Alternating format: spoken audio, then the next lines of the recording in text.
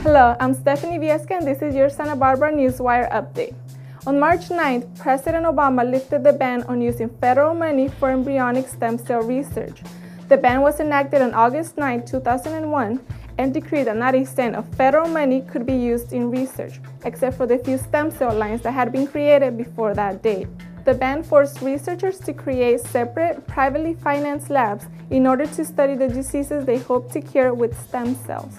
Now, biomedical workers can apply for grants from the National Institute of Health rather than getting stem cell lines through private money.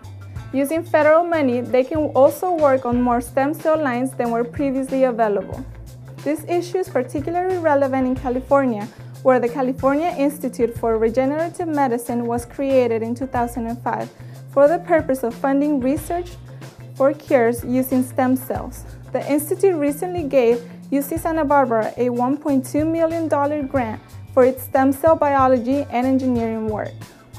UCSB's Department of Molecular, Cellular, and Developmental Biology has both pre and postdoctoral students studying stem cell proliferation and differentiation, as well as bioengineering. So the Center for Stem Cell Biology and Engineering here at UC Santa Barbara is a little bit different than other uh, stem cell research programs in the state.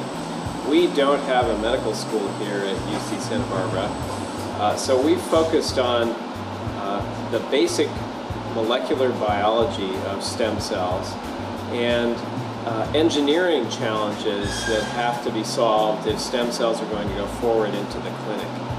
I mean, we need to figure out number one, how to make the right kind of cell.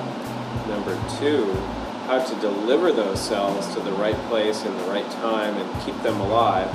And then number three, then go forward to clinical trials. Right now, researchers' goals are modest. They hope to use stem cells to track how specific diseases such as Alzheimer's and Parkinson's develop.